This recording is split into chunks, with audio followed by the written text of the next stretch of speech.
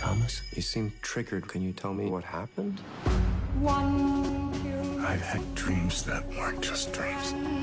one pill makes you smooth. Time to fly.